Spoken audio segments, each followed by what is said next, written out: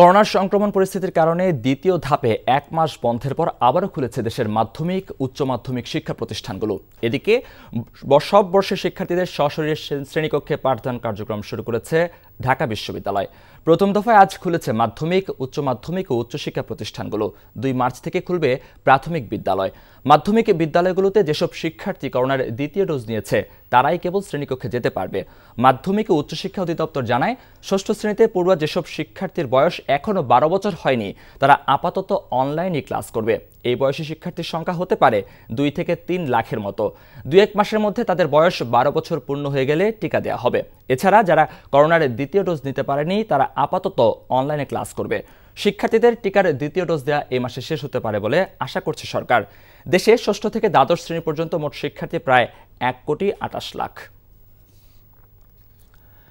শিক্ষা প্রতিষ্ঠানের খবর জানাতে রাজধানী দুটি স্কুলে আছেন আমাদের দুই সহকর্মী। প্রথমে যাচ্ছি মতিঝিল আইডিয়াল স্কুল অ্যান্ড কলেজে। সেখানে আছেন সহকর্মী নজরানা চৌধুরী। নজরানা স্কুল খোলার শিক্ষার্থীদের প্রতিক্রিয়া কেমন দেখছেন? মহিউদ্দিন, আসলে দীর্ঘদিন স্কুলে বন্ধ থাকলে স্বভাবতই বাসায় বাচ্চারা একটু অলস সময় কাটায় এবং এক ধরনের বোরিংনেসের মধ্যে থাকে। সেই জায়গাটা চিন্তা করলে তারা কিন্তু স্কুলে আসছে, বন্ধুবান্ধবের সাথে দেখা হচ্ছে, নতুন একটি পরিবেশ, বাসার বাইরে বের হতে পারছে। সেই জায়গা থেকে তারা খুবই উৎফুল্ল। এটি হলো সাধারণ স্টুডেন্টদের কথা। আর যারা একটু স্টুডিয়াস যারা একটু পড়াশোনায় বেশি মনোযোগী, তারা তো সবসময় স্কুলে যেতে চান। তো এটি গেল যে স্টুডেন্টদের প্রতিক্রিয়া তারা কেমন এবং আমি সকালবেলা, এ নিয়ে দুটি স্কুল, সকালে ভিকারনেসা স্কুলে গিয়েছিলাম এরপর আইডিয়াল স্কুলে এসেছি।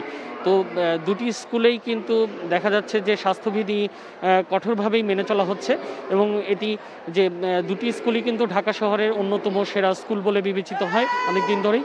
সেই কারণে কিন্তু এসব জায়গায় এগুলো স্ট্রিক্টলি মেনটেন করা হয়। আর আইডিয়াল স্কুলে একটু আগেই মর্নিং শিফট যেটি আসলে মেয়েদের জন্য, মেয়েরা ক্লাস করে মর্নিং শিফটে তার ছুটি হয়ে গেছে।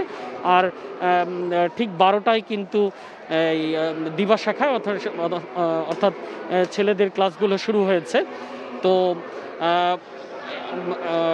যেগুলো ইয়ে হয়েছে যে শুধুমাত্র এসএসসি এসএসসি ক্যান্ডিডেট এবং ক্লাস টেন এদের কিন্তু প্রতিদিন ক্লাস হবে। অন্যান্য ক্লাসগুলোতে কিন্তু সপ্তাহে হয়তো একদিন, দুই দিন এরকম করে ক্লাস হবে। মহিউদ্দিন।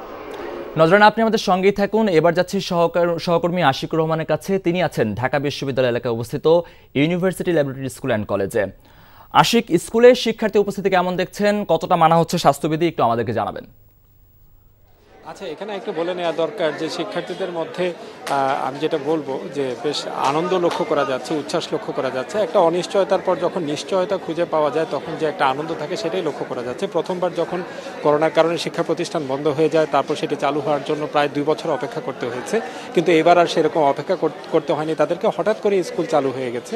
এটা তাদের কাছে ভীষণ আনন্দ এবং ভালো লাগার, সেটাই লক্ষ্য করা যাচ্ছিল। আর যেটা লক্ষ্য করা যাচ্ছে, আপনি যেটা বললেন যে স্বাস্থ্যবিধির বিষয়, যেটা শিক্ষার্থীদের হাতে হাতে দেখা যাচ্ছে সেটা হলো করোনা টিকার কার্ড বা কাগজ।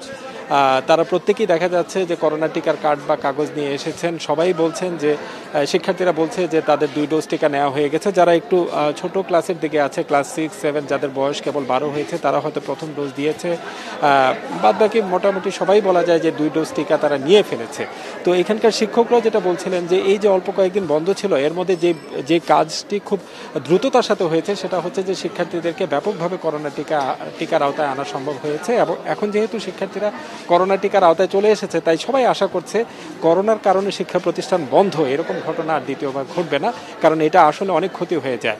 বেশ কিছু কাজ আসলে আটকা পড়েছে। আমি যদি একটু দেখাই যে, একটু যদি দেখেন যে, এখানে অনেক শিক্ষার্থী এসে লাইনে দাঁড়িয়েছেন। তারা কেন দাঁড়িয়েছেন? তারা কলেজে ভর্তি হওয়ার জন্য তারা এখানে এসে লাইনে দাঁড়িয়েছেন। তারা এই কয়েকদিন হয়তো সেই সুযোগ পাননি শিক্ষা প্রতিষ্ঠান বন্ধ থাকার কারণে।